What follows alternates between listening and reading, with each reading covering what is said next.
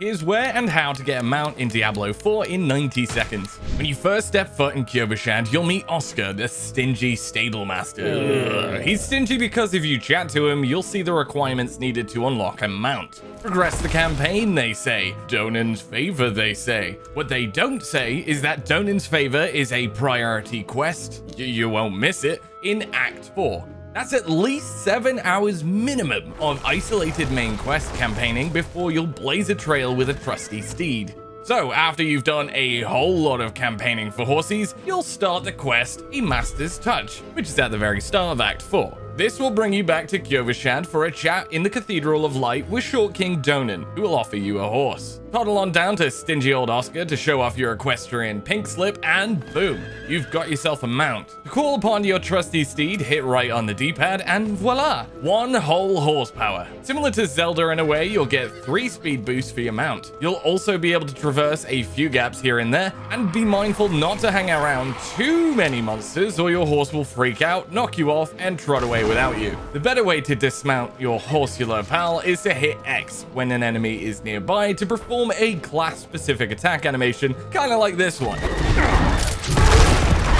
Also, from here on out, any new character you make will have access to a mount straight from the off.